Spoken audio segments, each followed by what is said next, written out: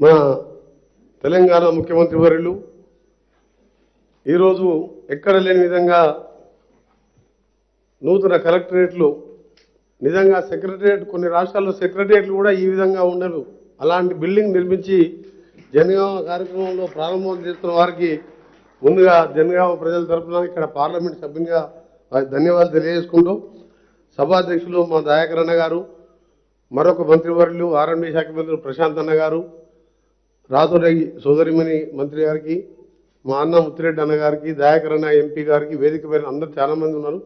ఏం లేదు ముఖ్యమంత్రి గారికి ప్రత్యేకంగా విజ్ఞప్తి చేస్తూ జనగామ అంటే మీ అందరికీ అన్నకు ఎక్కువ తెలుసు సీఎం గారికి పోరాటాలకు మారుపేరుగా ఉన్న జిల్లా ఇది. దీంట్లో ఒక మరొక ప్రాంతం చేరియాల కాన్స్టెన్సీ కూడా దీనిలో యాడ్ అయ్యి డీలిమిటేషన్లో వచ్చింది. అక్కడ ప్రజల చిన్న కోరిక అది.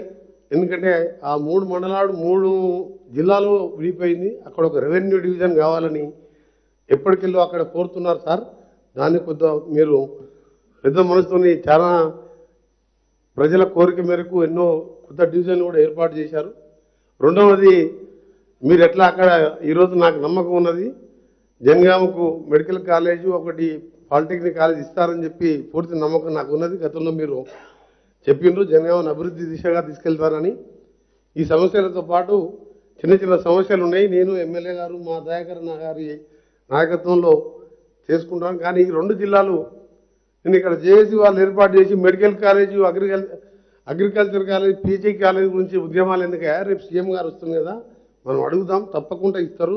దశల వారీగా అన్ని జిల్లా కేంద్రాల్లో కూడా ప్రభుత్వ పరంగా మెడికల్ కాలేజ్ కడుతున్న వాళ్ళు. కరోనా మూలంగా రెండు సంవత్సరాల్లో ఆర్థిక అనుకున్నంత ఆదాయం రాకపోయినా సరే రాష్ట్రాన్ని అన్ని పథకాలు కూడా కొనసాగిస్తుంది కాబట్టి అవుతుంది ఒప్పిస్తారని చెప్పి వారికి కూడా చెప్పడం జరిగింది. కొట్లాడే అవసరం లేదు. తెలంగాణ వచ్చింది కాబట్టి ఇప్పుడు మనం మనం కొట్లాడుకునే అవసరం లేదు. అడిగి అన్నీ చేస్తారు కాబట్టి ముఖ్యమంత్రి గారిని జనగామ జిల్లా కేంద్రం ఒకటి చేయాలి. ఇంకా రెండు మూడు బస్ స్టాండ్ ఒకటి పెద్ద సమస్య ఉన్నది. గతంలో మీ దృష్టికి కూడా తీసుకురావడం జరిగింది. ప్రత్యేకించి తెలంగాణని ముప్పై మూడు జిల్లాలుగా పరిపాలన సౌలభ్యం కోసం విస్తరించి జిల్లాలుగా ఏర్పాటు చేసి ఈ విధమైన కార్యాలను నిర్మిస్తున్న ముఖ్యమంత్రి గారికి ప్రత్యేకంగా హృదయపూర్వకంగా వారికి నమస్కారాలు తెలియజేసుకుంటూ కృతజ్ఞత తెలియజేస్తున్నాను థ్యాంక్ యూ వెంకన్న